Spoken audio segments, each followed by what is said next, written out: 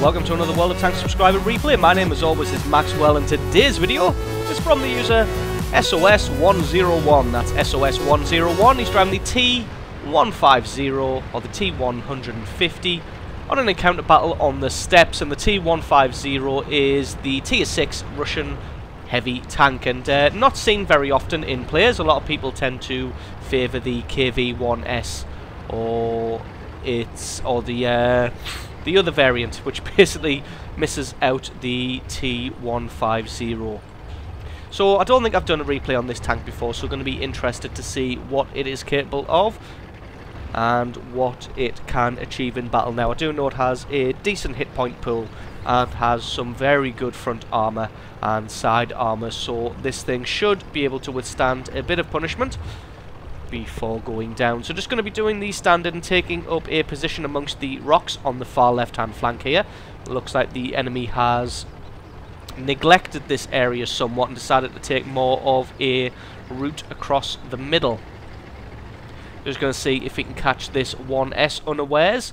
Fortunately the 1S, yes, can indeed catch him unawares, looking in the wrong direction.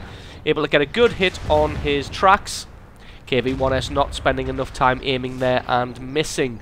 Luckily the T-150 looks like he has a much faster reload speed, uh, not quite as much damage, although it looks like the 1S isn't the fully upgraded cannon, so he's not really going to be able to achieve much, and he's going to be able to finish him off there with another shot.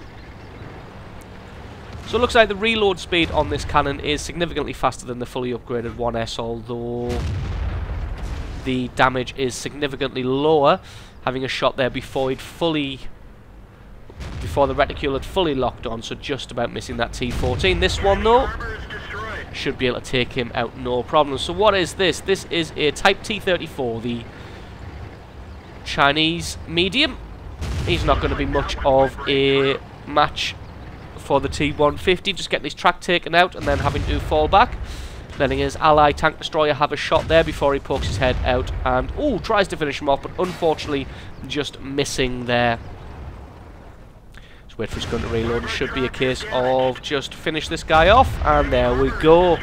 Third kill picked up on this far left hand flank. Now it looks like the enemy hasn't pushed too far forward here so they are maybe committing more of their forces to the central base defense although it's not really base defense nice shot as that isn't the capture point. The capture point's all the way on the right-hand flank there, so not sure what the enemy is doing. It seems that they just decided to...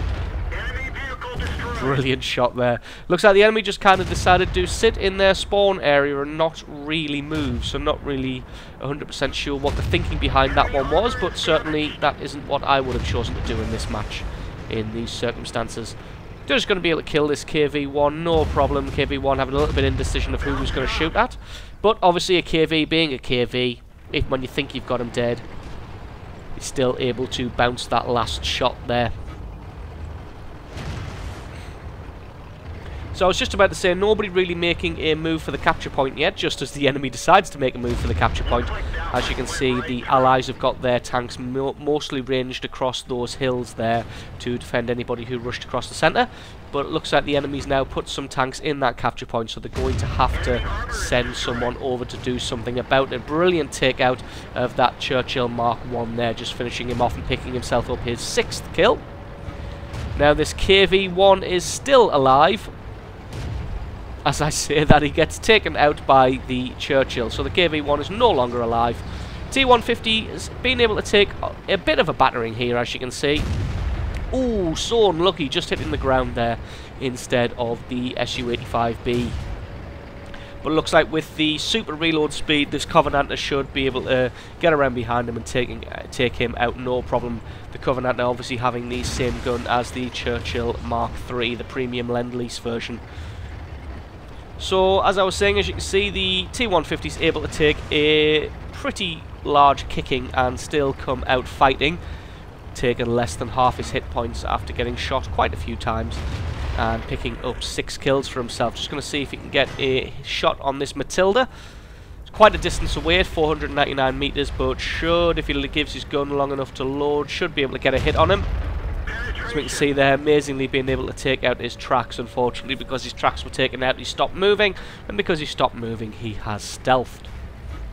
Just going to have another random shot just to see if he can get him before his tracks repair and then going to be heading across the plains. Just going to speed it up a little bit until we get back into the action but to be honest there's only a tank destroyer and the that Matilda left there so shouldn't be too difficult to wrap this game up and get a win. You can see the M4 coming in to take out that Hetzer and there he goes.